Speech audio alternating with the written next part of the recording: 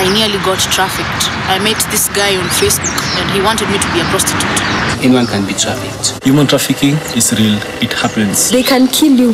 The youth, they are the biggest target in human trafficking.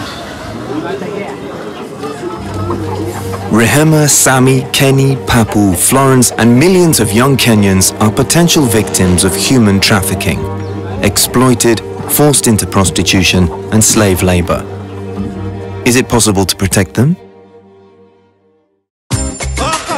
HAART Kenya organization and Samsung have decided that the best solution is giving youngsters a profession which will provide decent work and earnings.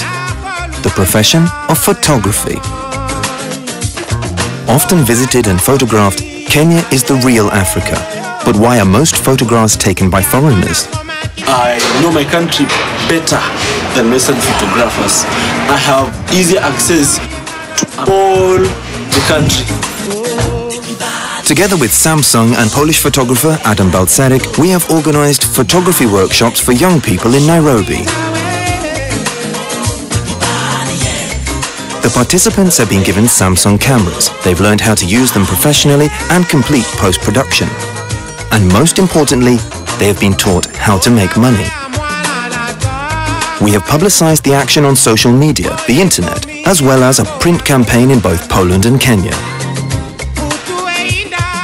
Our action has resulted in thousands of pictures, four exhibitions in Poland and Kenya, the publication of the Album of Kenya, over 45,000 internet hits, and media interest in both countries. porannej czwórce pora na spotkanie z naszym gościem. Ten gość nazywa się Adam Balcerek i jest już w studiu. Dla Nairobi to jest... What's more, the campaign was appreciated in National Geographic's Traveller Photo Competition.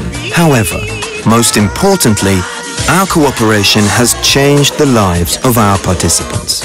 This is my work. I'm full-time photographer now. I become someone who's professional. I earn money to feed my family.